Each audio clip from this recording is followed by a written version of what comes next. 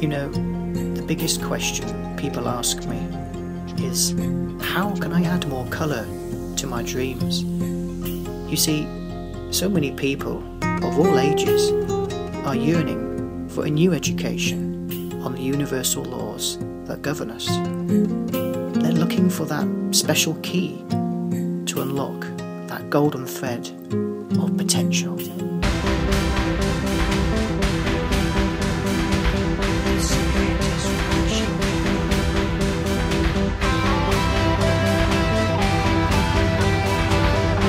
Welcome to Tony's Kind Thoughts, a special program for your motivation and inspiration.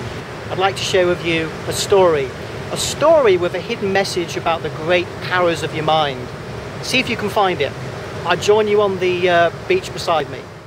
Once upon a time, there dwelled a wise old man who lived inside a cave alongside a rocky shoreline. And at the end of this beach was a huge rock pool some people said that this rock pool had magical powers.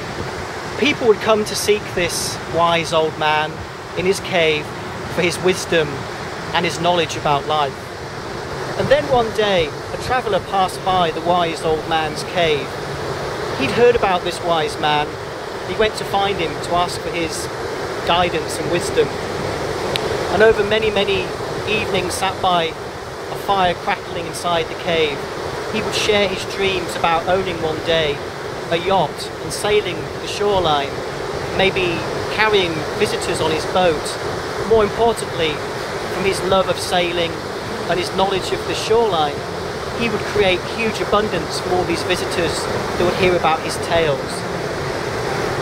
So the wise man listens carefully to the traveller's dreams and gives him very specific instructions. He hands him a small black pebble and tells him he must take this with him as he sleeps at night and hold it tight in his hand while imagining his dreams as already manifested, to hold it as he walks around and lives his life. But before the wise man can finish his instructions, the traveller runs off in haste. Then months pass by and the traveller returns to the wise man's cave, very cross and annoyed. You see, none of his dreams have actually come true, but the wise man explains that he wasn't allowed to finish his instructions. He tells the traveller to take his small black pebble and to throw it into the rock pool at the end of the beach, the rock pool with the magical powers.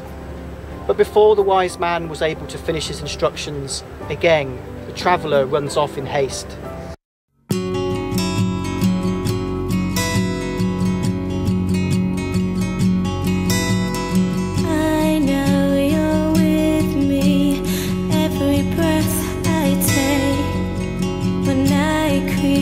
请我。